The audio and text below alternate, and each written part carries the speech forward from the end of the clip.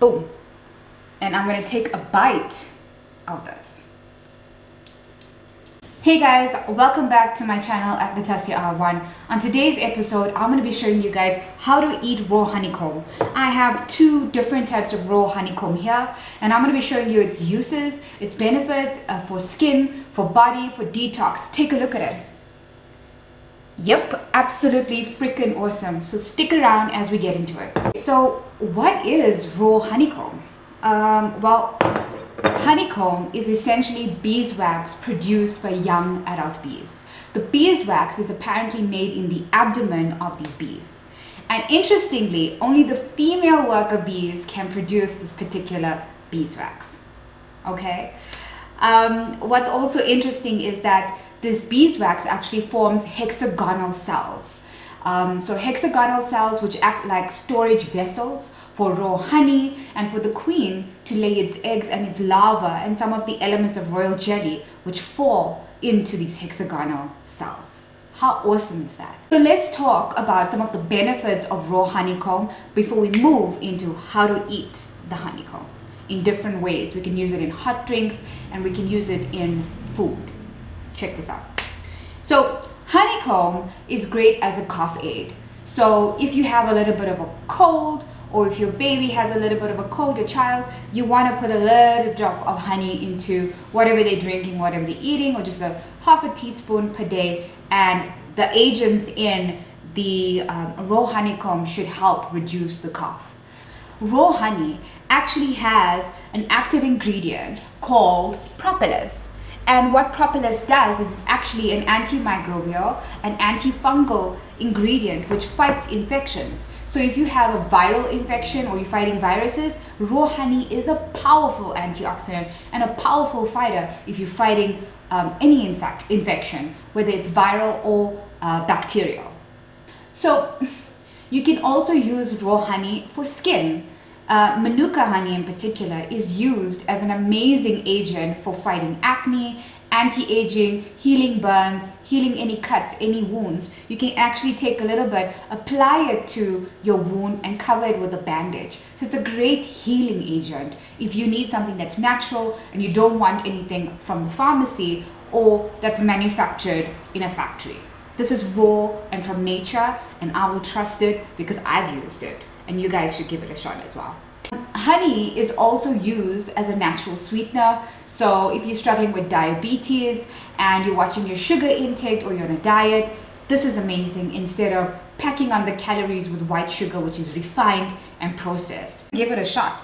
So how we eat this, the first one, ooh, take a bite.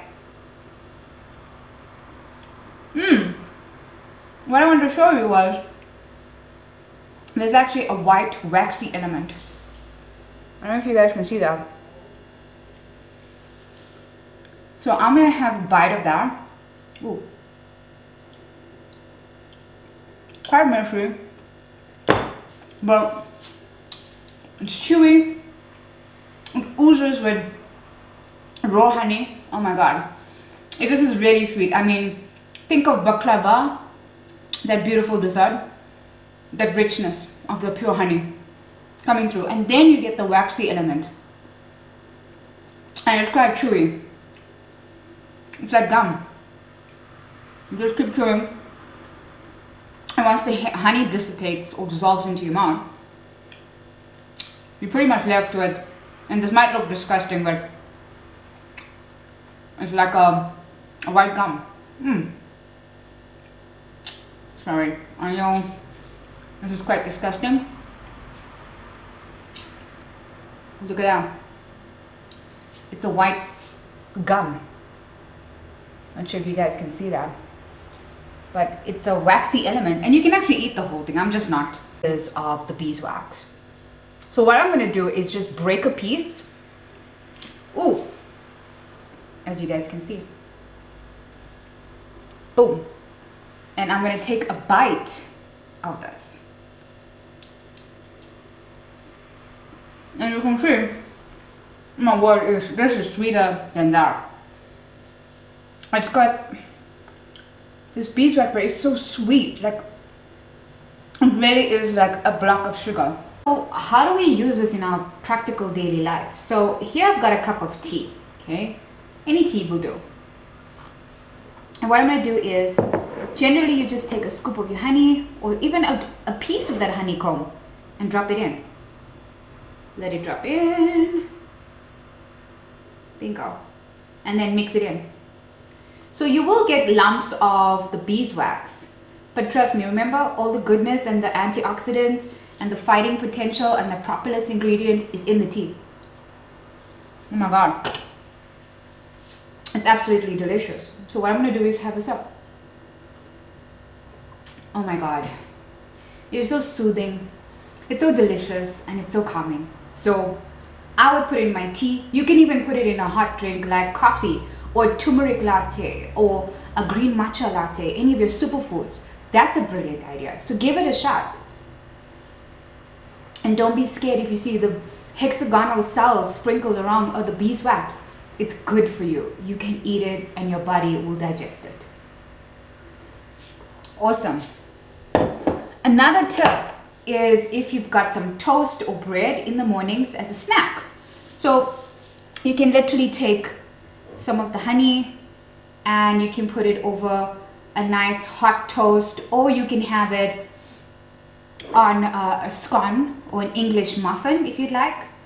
And oh I'm messing a bit but put it on and give it a shot. Mmm.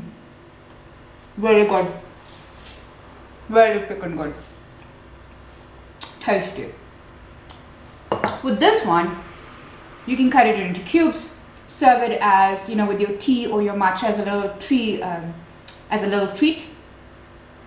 The raw honey best for baking is the other one. You can bake you can make some banana date bread you can do some blueberry muffins but it's got that raw honey goodness and it's good for your body. So give it a shot